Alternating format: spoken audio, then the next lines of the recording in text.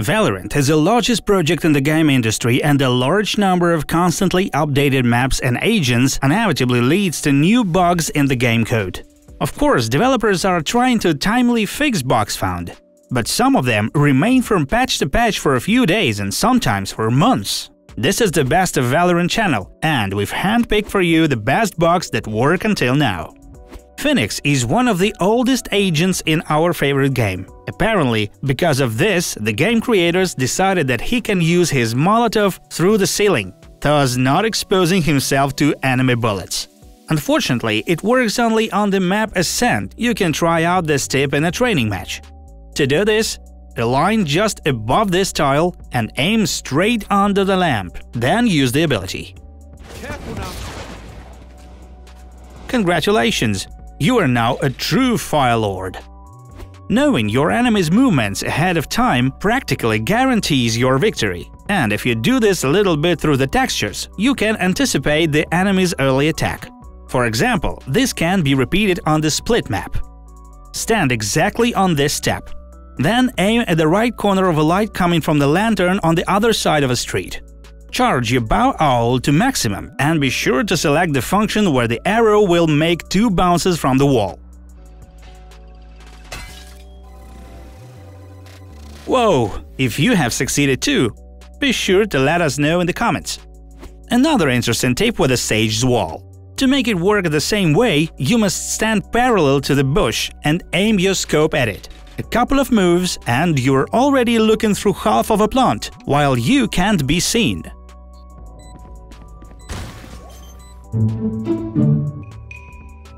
Before continuing my story, I would like to warn you against repeating what is shown in the video. Otherwise, you are likely to face penalties. Sage again and again her first ability. It seems to me that the game is too much trouble because of this wall. Maybe it should be deleted. Well, in order to once again climb inside the texture, we need to stand near this brick, aim at the very top of the pot of flowers, and then turn our ability so that its left corner is in the middle of the brick in front, exactly as shown in the video.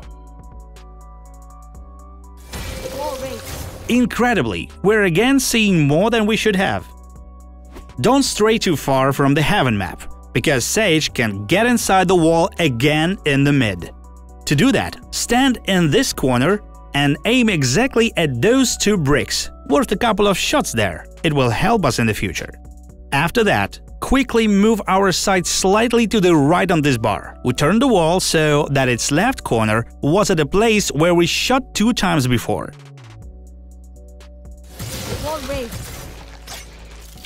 Again, we see more than we should. Is this even legal? To repeat the next point, go to the fracture map and select a Sova. We have to crouch in the zip line so that our scope is looking exactly at this line. We load the bow to maximum and use the two bounce function. Revealing area.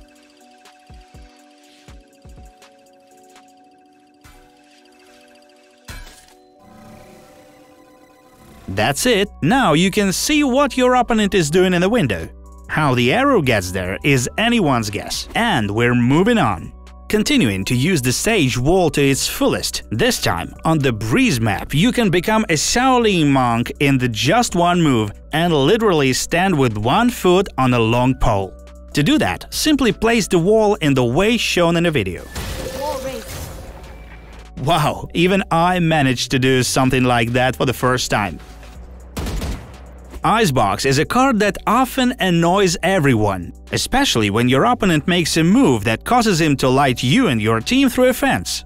Here's how to get back at him. We stand on this obstacle, charge the bow to maximum, and select only one bounce. Then we have to shoot at the moment of our jump. Found them.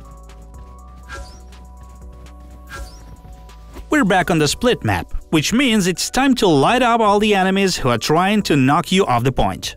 Charge your bow to maximum, use both bounces, and most importantly, aim just above and just to the right corner of the building. Revealing area.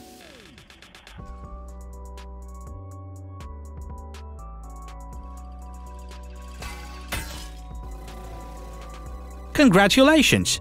you've just learned an interesting new trick. Don't forget to press the like button. Let's move on. Remember the Phoenix's Molotov on the Ascent map? Well, it turns out you can do it again from the other side. We stand at approximately this spot and aim exactly at this corner. Then set the floor and the ceiling on fire at the same time. Isn't that cool?